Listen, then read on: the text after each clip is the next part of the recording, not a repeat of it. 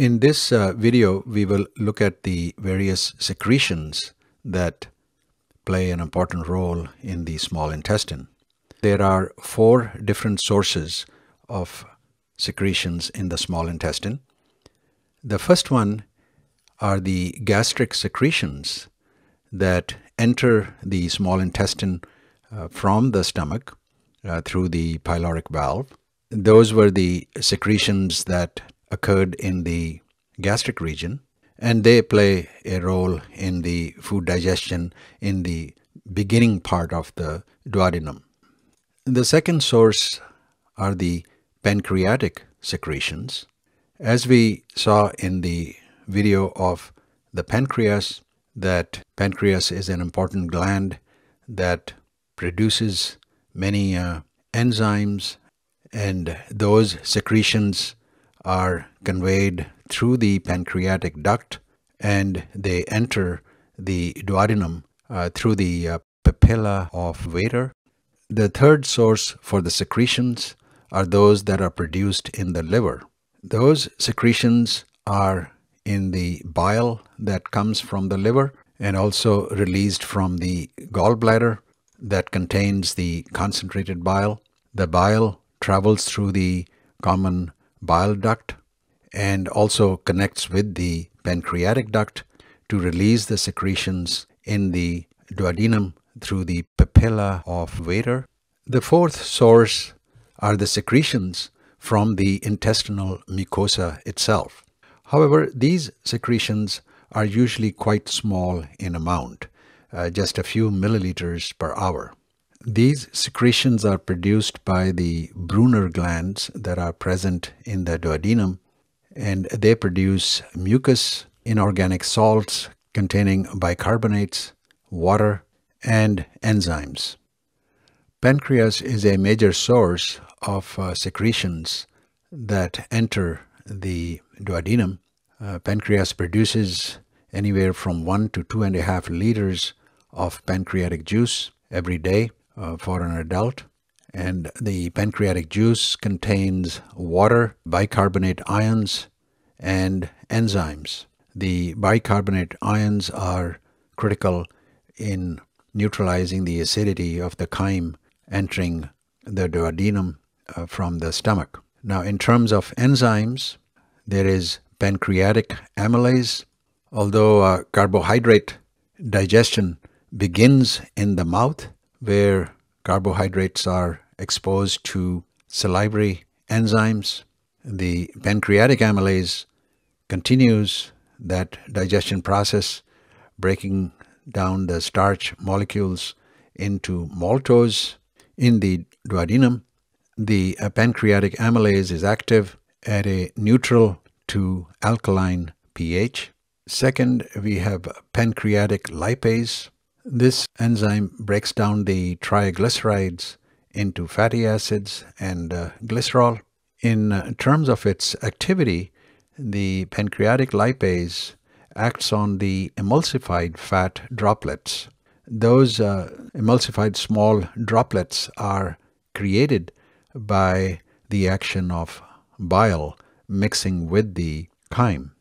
And for its uh, activity, it needs uh, small amounts of a protein coenzyme, which is also produced in the pancreas, uh, called colipase.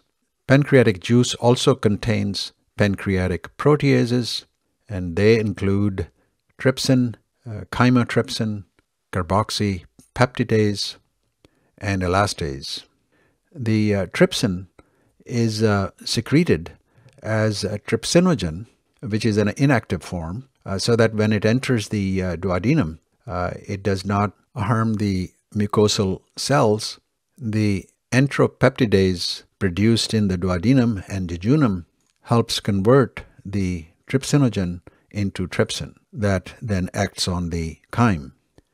Trypsin also catalyzes other inactive enzymes such as chymotrypsin, uh, carboxypeptidase, and elastase into active forms.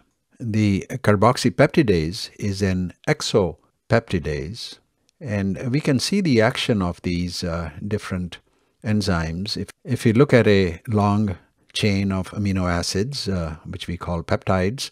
Um, so here we have this chain, and uh, this chain is broken down by the exopeptidase and endopeptidase. The exopeptidase act only to break the end amino acids, whereas the endopeptidase breaks down the chain in the middle to make smaller chains of peptides. The peptides are mainly digested in jejunum and ileum.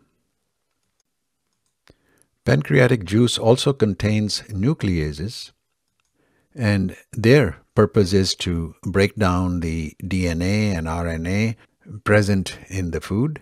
So there is uh, DNase and RNase. The DNase helps to digest the deoxyribonucleic acid, that is the DNA, and the RNase uh, helps to digest ribonucleic acid, the RNA, into their respective nucleotides. The uh, third source of uh, secretions in the small intestine is the liver is in the form of bile. Uh, 600 milliliter of bile is released into the duodenum for an adult. Bile is uh, released into the bile duct due to the contraction of the gallbladder that is uh, activated by a hormone called CCK that we will review later in the video.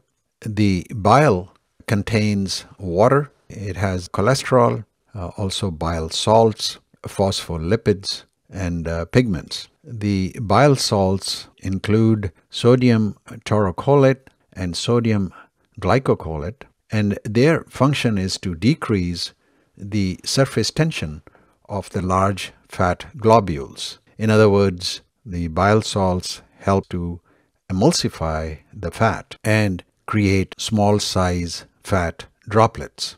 As we noted before, when we were looking at the activity of the pancreas lipase, that for its action, it needs small size fat droplets. So the bile salts are helpful in creating those small size fat droplets.